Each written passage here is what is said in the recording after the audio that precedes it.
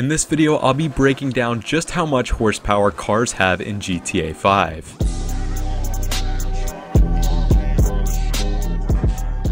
So in the process of researching for another video that I've been working on in the background, I remembered revisiting some of the old Legendary Motorsports website listings in the Xbox 360 version of GTA 5 to see what bogus stats Rockstar used to describe certain cars. Now in case you didn't know, these stats, which included weight, 0 to 60 time, top speed, and a lot of others, were originally what was shown for each car in their online listing, but eventually Rockstar switched over to the stats bars, which are just as meaningless, with the release of the Further Adventures in Finance and Felony felony update in 2016. Now, although these original numerical stats have been totally wiped from the game, likely owing to how inaccurate they were, I was still interested in how the horsepower of GTA 5's cars could be measured. Now, as it turns out, there's no explicit horsepower variable in the handling metadata of any car in GTA 5, just variables such as F initial drive force, which only roughly indicate how much power a vehicle should have. And also because there's hundreds of other handling attributes and flags at play, there's really no great way of only using a car's metadata to reliably calculate its horsepower. But with some in-game testing, there's actually a much simpler, albeit pretty rough method to calculate a car's horsepower, and this is through its quarter mile performance. Now based on the formulas that you guys see on screen here, as long as you have the car's weight and quarter mile time or trap speed, you can get a rough idea of how much horsepower it's actually putting down. And what's great about this is that the metadata that I previously talked about is already accounted for as I plan on precisely measuring a car's actual performance on an in-game road. So everything everything was pretty much baked in. So given this finding and the fact that I could reasonably calculate any car's horsepower using the F-mass variable and some quick straight line tests, I got to work. Now in order to utilize the horsepower formulas I showed, I needed a way of reliably recording a car's quarter mile time and trap speed. Now to do this I used Armo 03's extremely useful race timer mod which is linked in the description if you want to give it a go and basically I just did a simple quarter mile drag run in each car that I tested. For the most accurate testing I fully upgraded each car including a spoiler, and I also used the handbrake to get the best launch that I could. The timer recorded results for each run that I did, which I then fed into a spreadsheet alongside those formulas to quickly calculate horsepower based on quarter mile elapsed time and trap speed. And then to get a balanced horsepower result, I took an average of the two methods of calculating power to get a final figure that factored in both time and speed equally. Now using this methodology, I was able to test a bunch of cars fairly quickly, and the results that I got were super interesting. Now before we dive fully into these results, I want you guys to keep in mind that these calculated horsepower figures are simply rough estimates based only on the car's quarter mile performance and the mathematical concept of work. This is obviously going to be nowhere near as accurate as measuring a vehicle's horsepower using a dynamometer, but of course we don't have those in GTA 5 and I still thought this was interesting to research, so I stuck with it. Anyways, for the results, first off, once I was done testing about 30 cars, I actually decided to compare the calculated horsepower figures for each GTA 5 car to the power that's made by its real life counterpart or primary inspiration. Now although this isn't the best point of comparison because GTA 5's cars take inspiration from multiple real life cars and because a lot of real life cars have different horsepower figures with each trim level, I still looked into it to see if any of the calculated numbers I got actually matched up. And as it turns out, for about a third of the vehicles that I tested, you can see that there was actually a pretty good match between the two figures. For example, the Vapid Dominator being based off of a mid 2000s Ford Mustang GT had a calculated horsepower in GTA 5 5 is just around 305 horsepower, which very closely matched its real world number of 300 horsepower. The same could also be said for the Vapid Dominator ASP,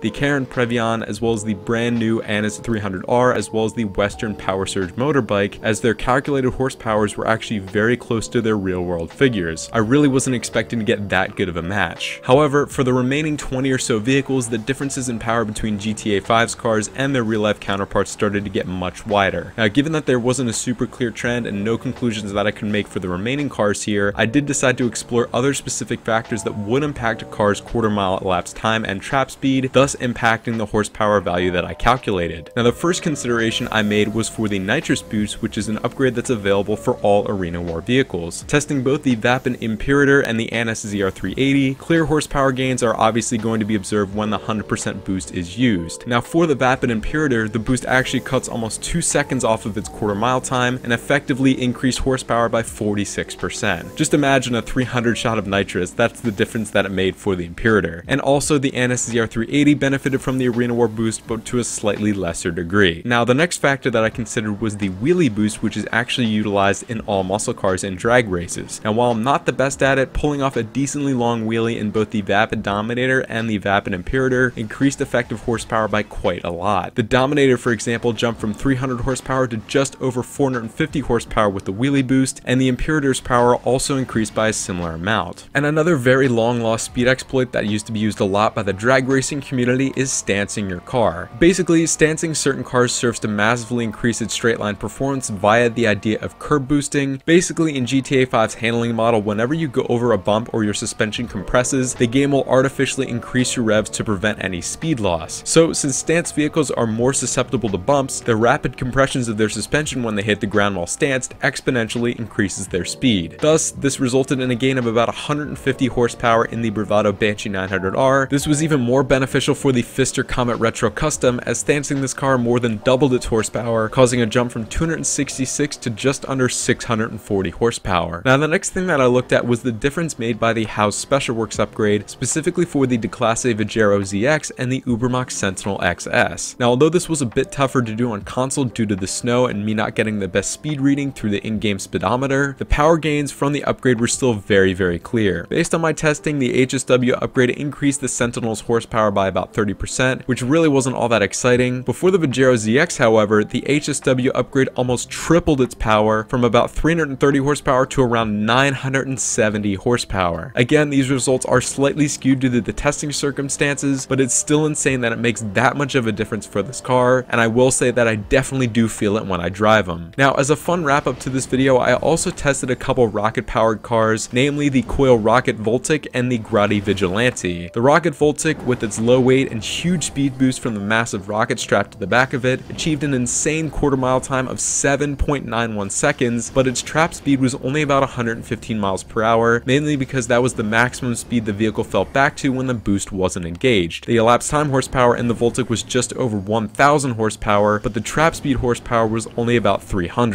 This same trend also continued for the Grotti Vigilante, which pulled off an even faster quarter mile time of 7 seconds flat at around 138 miles per hour. Given that the Vigilante is so heavy but is still capable of going this fast, the calculated horsepowers range from as high as 9,500 horsepower using the elapsed time formula to as low as 3,400 horsepower using the trap speed formula. When averaged, it turns out that the Vigilante has around 6,400 horsepower, which actually doesn't seem too far off of the real life Batmobile that was used, and that car was quoted to have around 2,000 pound-feet of torque. Unfortunately, I was not able to get a good horsepower figure for that car to compare, but this is still a really interesting finding, and it's insane that a car like that makes that much horsepower. Now, as a more overall wrap up to this video, I think that the abundance of negative percent errors that you guys see here indicate that most of the cars in GTA 5 that I tested for this video are actually much less powerful than their real life counterparts. If you think about it, this kind of makes sense given that most of the cars in this game have extremely low top speeds relative to real life. Basically, they're limited by the level of detail of GTA 5's map and the short render distance of the Rage engine, and this also could have been a clever ploy by Rockstar to artificially make the map seem bigger. This game-wide top speed inaccuracy is also heavily evidenced by the large gaps that I measured between the trap speed horsepower figures and their corresponding elapsed time horsepower figures. Now, although the HSW vehicles do seem super overpowered in comparison to other vehicles in the game, I do think that they do a much better job of depicting a car's real-world performance as their top speeds are just much more realistic. I hope that adding such a feature gives Rockstar better insight as to how to scale the map and also rework the Rage engine so that car performance is a bit more fleshed out and better grounded in reality in GTA 6. And that is going to conclude my exploration of this crazy rabbit hole of trying to calculate the horsepower of GTA 5's cars. If I do get the time in the future, I would like to test even more cars and other potential speed exploits to see what additional trends can be observed in these horsepower figures, and you can always check out the spreadsheet with my findings linked down below to see my progress. Anyways, I hope you guys found this video interesting. I know it's a lot different than my normal content, but I've started to delve deep beneath the surface of GTA 5's game mechanics, and I'm absolutely loving exploring the little quirks about this game. Thank you guys so much for watching. I wish you all an amazing 2023, and I will see you in the next video.